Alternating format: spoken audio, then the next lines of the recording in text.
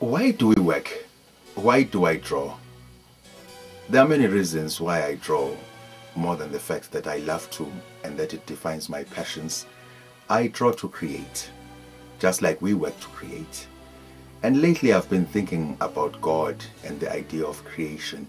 And it reminded me that all of us are created in the image of God. But what does it mean to be created in the image of God? Does it mean that all of us look like God? If so, then God would be as ugly as you and I. To be created in the image of God means God also accorded us the capacity to create our own environments and shape our lives. If God created heaven and earth in seven days, then it means we can also create our own heavens and earth in seven days.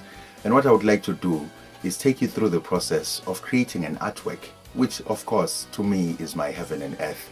And I'm going to take you through what I call the seven stages of creating rainbow colors on black and white. The first day.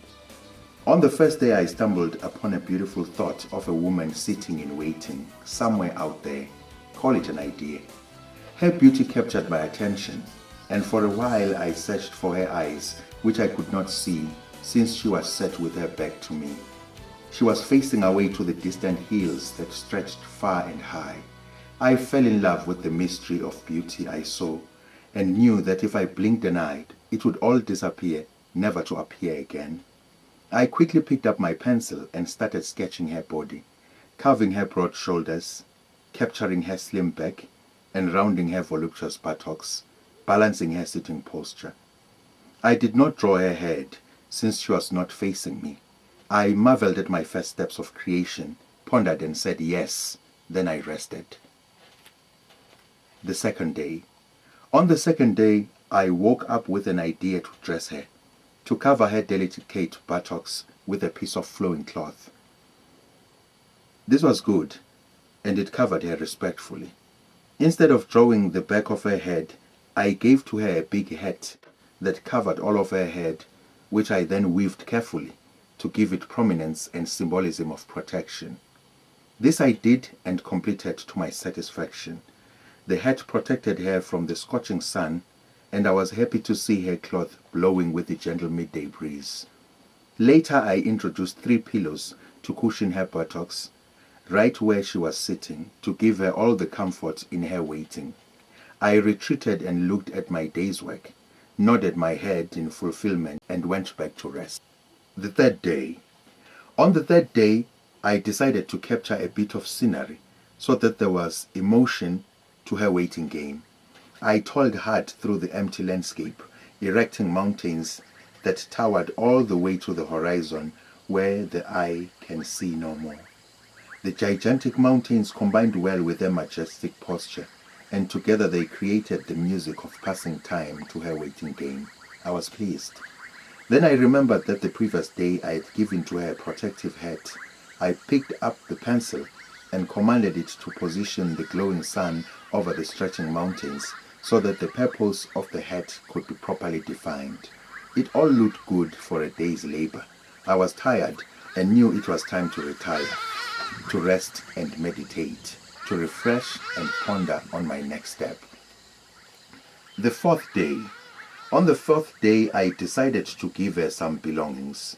Her firewood that she had collected just before resting to wait, a beer calabash that boasts a ring of beads to symbolize her cultural sophistry, a food bag full enough to last her through her eternal waiting game. I also gave her a huge water jug filled with water to quench her thirst through the passing days in blistering heat. I then returned to the calabash and gave it a design, and the same I awarded the towering water jug. Later I draped the water jug in cloth so that her belongings radiated with personality, all reflective of her boldness, delicate sense of choice, and reflections of re resilience. The cloth on the water jug was for her to use to cover herself when the sun goes down and the weather turns cold. I stood back and inspected this cluster and was happy that it all seemed to be coming together in perfect harmony. I settled down, drew a breath of fresh air, and again rested. The fifth day. On the fifth day, I looked at the developments and knew that a lot still had to be done to complete my creation. The pillows were still positioned on rough terrain, and this was opposing the sense of comfort that I had sought to portray right from the beginning. It was also contrary to the majesty of the scenery that had been set so far. I went down on my knees and started leveling the ground with an aim of tiling under the pillows. This was a cumbersome and delicate process where I could not afford to spoil the pillows with dust, mud and cement. When I finished leveling the ground, I started with the tiling. Marble tiles were my selection. I measured everything carefully so that the layout was professional and free of fault. The edges of the tiles had to be trimmed in the best choice of wood to continue with the theme of sophistry. I traveled over the hills and collected the best of natural wood, which I carved and fitted as trimmings. The tiles and wood were then polished so that the gleam shone with the rays of the sun above. When all was done and the sun was about to set, I fell into a deep sleep where I dreamt of what was to come the following day. The sixth day. On the sixth day, my mind was weary and my muscles were burning from five days of galloping thoughts and endless hard work in construction. All had been done, but it was very difficult to separate the clustered symbols from one another. As much as all had been done and got to be, it still looked cold and lifeless. So I said, Let there be life.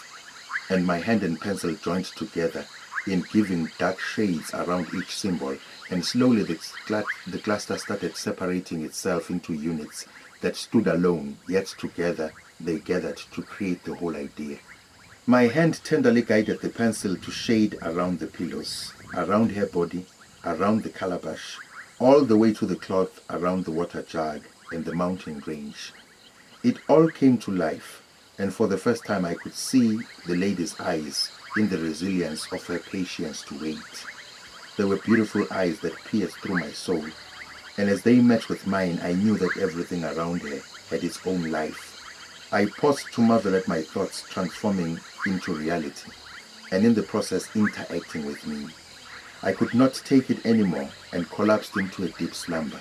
In my sleep, I experienced a dream of life where together with the lady we waited for eternity to find us. I named her Linda, the lady in waiting, and she smiled and gave me a kiss of life as she turned her back to me and waited forevermore. It was a dream that transformed me never to be the same again. Only the next day would see me rise again as born anew. The seventh day. On this day I looked at it all and was satisfied with the beauty and life of my creation. I was amazed at how life emerges so easily from a background of black and white and still offers us with the choice to add any colors to complete our reality the way we choose to see it. Interpret its diversity, interact with its dynamic symbols, and create meaning out of it. I had my own idea of which colors would sit best with what I had created. So I looked up to the skies above the mountains and shouted, Let there be color! Clouds started drifting in a dance so spectacular and the sun rays made everything so bright and true. This is when the most magical experience to ever touch my life unveiled itself before my eyes. The spectrum of the rainbow emerged from within the lady in waiting and started painting rainbow colors on black and white. Suddenly the cloths had their colors. The water jug turned bronze and I could see the clay color on the pots. Her hat was a beautiful touch of soft red and the sunbeams tanned her silky skin. The pillows were light yellow satin, and I could smell the slight scent of decay in her brown wood that she had collected before she set to wait. I was overwhelmed with emotion, and I cried tears of joy and appreciating that the mystery, the mystery of complete creation had been unveiled before my eyes. I knelt and prayed, for once I knew that as one created in the image of God, like him, I also have the simple inborn capacity to create. I felt so complete.